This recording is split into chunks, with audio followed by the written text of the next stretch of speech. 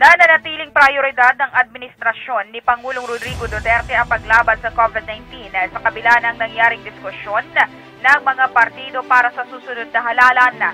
Inihayag ito ng palasyo matapos batikusin ng mga kritiko ang Pangulo at ang iba pang opisyal ng gobyerno na dumalo sa assembly ng PDP Laban na ipinapakita ng live sa government-owned PTV4 habang patuloy na nakikipaglaban ng bansa sa pandemya. Sinabi ni Presidential Spokesperson Harry Roque na hindi naman nagbabago ang prioridad ng administrasyon na Gayunman, may COVID-19 man wala ay paparating ng eleksyon at ang kailangan ng mga political parties na maganda dahil maghahain ng mga kandidato ng kanilang Certificate of Candidacy sa unang uh, sampung araw ng Oktubre. Iginit naman ni Roque na hindi maaaring mahiwalay ang political personality ng Pangulo mula sa pagganap nito ng tungkulin dahil principally political naman talagaan niya ang posisyon nito. Nang matanong naman kay Roque kung papayag ba ito na mai-airy rin sa PDP4 ang mga meeting ng oposisyon, ay sinabi niya na pwede naman na itong makover kung ito ay newsworthy dahil sa huli ay maituturing pa rin ito bilang isang news agency.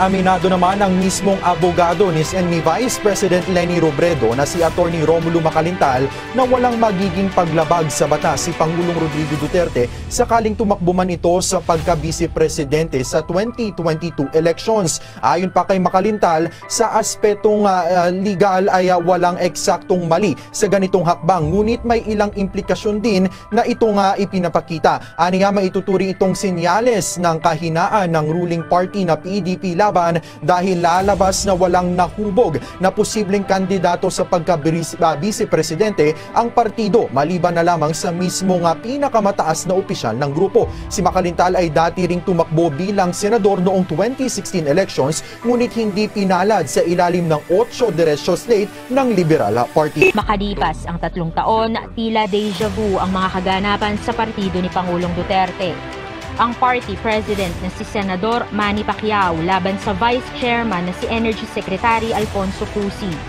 Suportado ng chairman nilang si Pangulong Duterte ang grupo ni Cusi at pinulong pa nga ang mga ito sa Malacanang. Ayon sa Pangulo, dadaanin sa legal battle kung hindi magkasundo ang dalawang panig.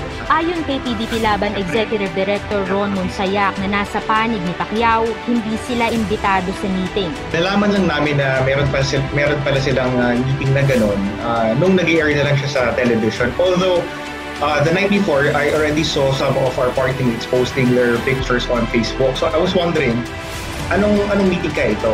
Pero sabi naman ni PDP Laban Secretary General Melvin Matibag, bakit pa raw mag-aabala ang grupo ni Cusi gayong hindi naman kinikilala ni Pacquiao ang National Council meeting noong May 31. Ang mga resolusyong ipinasan noon daw kasi ang agenda ng pagpupulong sa Malacanang.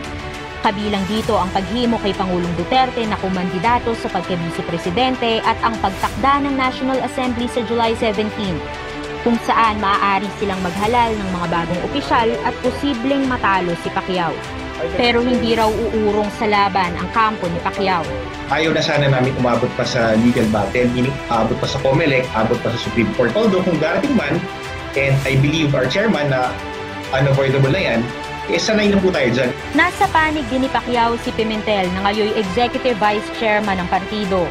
Abangan na lang raw ng taong bayan kung paano mareresolba ang alitang ito. Ayon sa political analyst na si Dennis Coronacion, makikinabang lang ang bansa sa away ni na Pangulong Duterte at Pacquiao kung mga importanteng issue ang tatalakayin sa debate.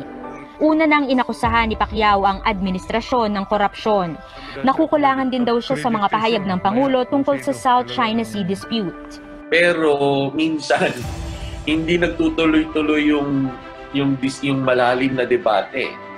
Uh, biglang nauuwi doon sa personalidad. Oo, na minsan na, naririnig natin yung presidente nilalait si uh, yung pagkatao ni Senator Pacquiao. O si Senator Pacquiao naman hindi niya pinapatulan. Meron na lang ilang buwan ang PDP laban para maisaayos ang partido bago ang paghahain ng kandidatura sa Oktubre para sa eleksyon 2022. Mayor Inday Sara Duterte Carpio was asked whether she would consider the possibility of running in the 2022 presidential elections, she replied, Yes, Oppo. This is incredible. This is the news we've all been waiting for. This is so, so exciting for the country and for the Filipino people. You know, Mayor Inday Sara Duterte has a wealth of experience through her time as Mayor of Davao. But not only that, she has a fine example, if you like, or a fine set of footsteps to look up to. You know, President Duterte has brought his daughter, Mayor Sara Inday, on several state visits out of the Philippines. And you can clearly see that she is a leader in her own right. She's a stateswoman in her own right. She just commands uh, respect from others. And I believe this is truly fantastic news.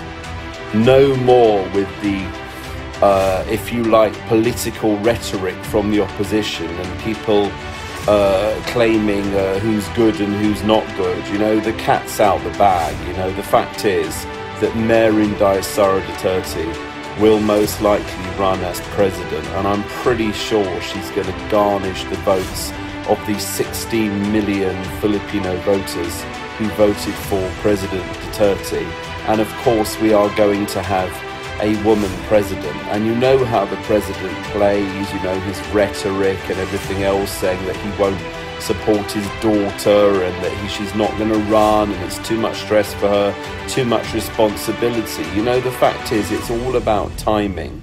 And I believe now is the perfect time you know, the Philippines needs a strong woman. The Philippines needs another courageous leader, and particularly one from the Duterte family. People say that Mayor Inday Sara is too young. Well, I strongly disagree. She has been mayor of Davao, one of the most progressive cities in the Philippines now, for a very long time. Her father is currently mayor of the Republic of the Philippines.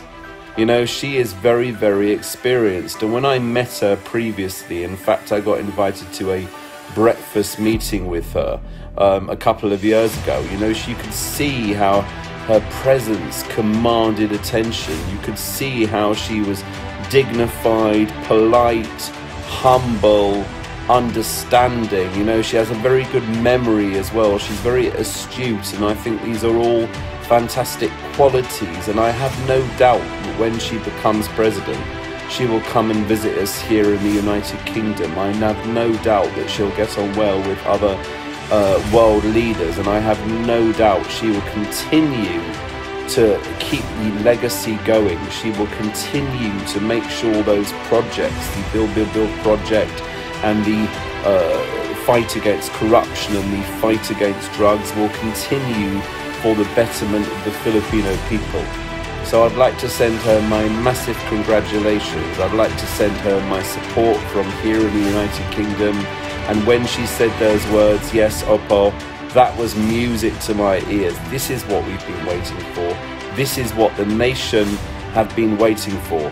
And I know Mayor Inday Sara Duterte will most likely be the 17th president of the Republic of the Philippines and I'm so, so pleased in that news. I'm sure the Yellows are shaking in their boots. This is really a slap for the opposition. This is really a slap for all those weak Liberal candidates who think they could run. You know, they have no chance, no chance whatsoever. They will be burnt dry.